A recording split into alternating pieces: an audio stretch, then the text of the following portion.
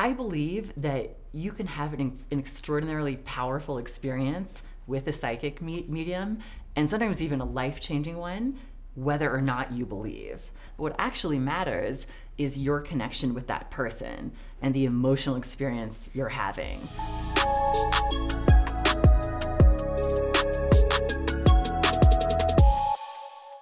So you've done documentaries on so many different things, on so many different types of people, actors, musicians, very famous people. What made you want to pursue this topic and what made you want to bring it to Sundance? I had the idea for this movie the day after Donald Trump got elected. Whoa. I was extremely depressed, sad, frightened about the future. And in my lost state, I, would never been to a psychic before, but I just walked into a, a psychic shop. It said $5 psychic reading.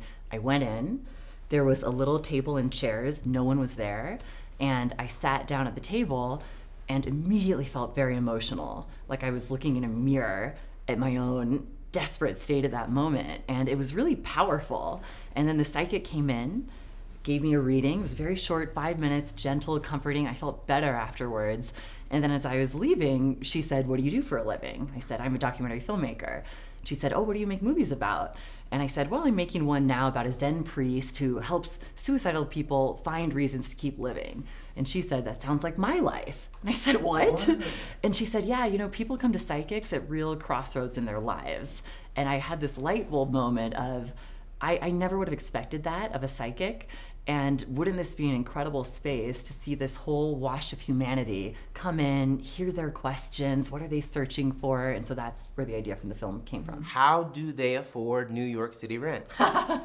well, you'll see in the movie, well, you saw the movie, you know, they're in kind of classic New York City apartments. Their apartments look like my apartments, you know, they're kind of tiny, they're crammed with books and movies and art and stuff. I, I don't know how, a lot of them have day jobs. Most of the psychics in my film are doing this, I would say, as a calling. Uh, they have day jobs. They do readings for free or on a sliding scale a lot of the time. So I think they're like any other New Yorker. They're hustling, doing five things at once, and somehow pay the rent.